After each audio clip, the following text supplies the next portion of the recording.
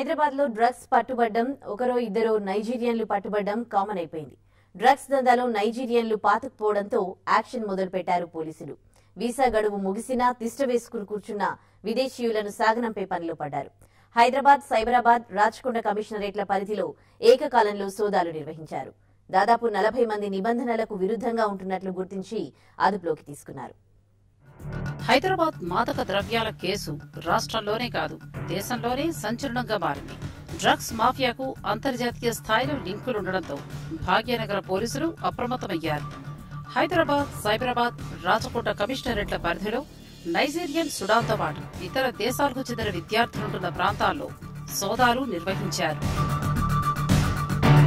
Visa గడువు ముగిసిన కొంతమంది నగరంలో తిష్టవేసి ఈజీ మనీ కోసం మాదక ద్రవ్యాల రవాణాను కొనసాగిస్తున్నారు. ఇప్పటికే డ్రగ్స్ కేసులో పదుల సంఖ్యలో నైజీరియన్లు అరెస్ట్ అయ్యారు. అయినా ఇంకా డ్రగ్స్ దందా యథేచ్ఛగా కొనసాగుతోంది. ఇటీవలే ఎల్బీ నగర్లో నైజీరియాకు చెందిన ఓజోకు కాస్మోస్ విజయవాడకు చెందిన సంగీతతో కలిసి డ్రగ్స్ అమ్ముతూ పోలీసులకు దొరికిపోయాడు ఆప్రాల్లో నైజీరియాకు చెందిన గాబ్రియల్ అదే దేశానికి చెందిన అతని ప్రియురాలు ఎస్ఓటి అధికారులకు చిక్కారు. గాబ్రియల్ నైజీరియా దేశస్తులకు డ్రగ్స్ సరఫరా చేస్తున్నట్టు గుర్తించారు. దీంతో ఎలాగైనా వీరి ఆకడాలకు చెక్ పెట్టాలని భావించిన అధికారులు తనిఖీలను ముమ్మరం చేశారు.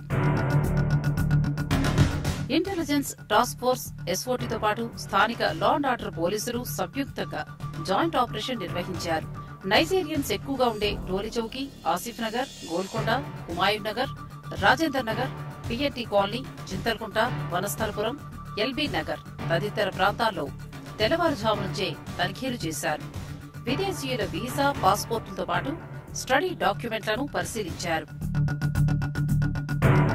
విదేశీయుల్లో చాలా మంది వీసా పర్మిట్లో పేర్కొన్న అడ్రస్లో ఉండకుండా మరో చోట నివాసం ఉంటున్నట్టు అధికారులు గుర్తించారు. వెస్ట్ జోన్ పరిధిలో చేపట్టిన తనిఖీల్లో ఇరవై మందికి పైగా అక్రమంగా ఉంటున్నట్టు గుర్తించామని వెస్ట్ జోన్ డీసీపీ వెంకటేశ్వరరావు తెలిపారు. ఎక్కడైతే ఫారినర్స్ ఉంటున్నారో రొటీన్ చెకింగ్ చేయడం అనేది జరుగుతూ ఉంది. నార్మల్గా వాళ్ళు ఏమైనా వయలేషన్స్ ఏమైనా ఉన్నాయా? మరి అవన్నిటి కూడా రొటీన్లో చెక్ చేస్తూ ఏమైనా మేజర్ వైలేషన్స్ కనుక దృష్టికి వస్తే వారిపై వాళ్ళ దేశానికి పంపించడం కానీ చట్టారీత్యా చర్య తీసుకోవడం అనేది జరుగుతుంది.